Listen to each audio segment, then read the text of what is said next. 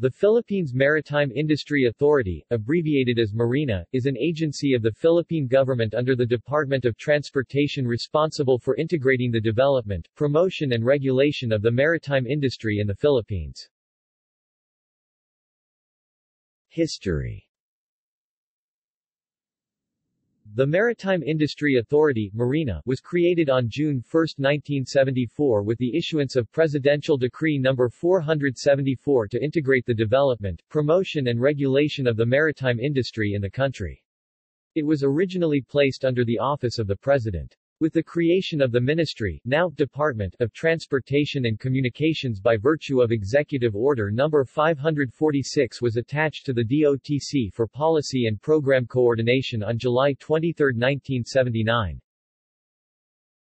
The regulatory function of the Marina was increased with issuance of EO No. 1011 which abolished the Board of Transportation and transferred the quasi-judicial functions pertaining to water transportation to the Marina. On January 30, 1987, EO No. 125 amended by EO 125A was issued reorganizing the Department of Transportation and Communications. The powers and functions of the department and the agencies under its umbrella were defined which further increased the responsibility of the marina to the industry. Sectoral coverages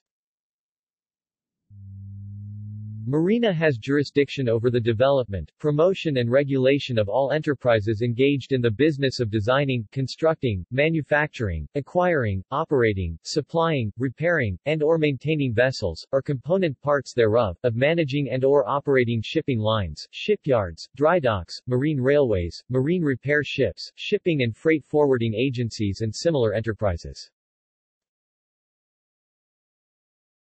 See also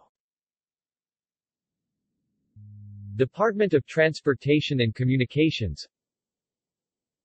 List of shipping companies in the Philippines. External links. Marina homepage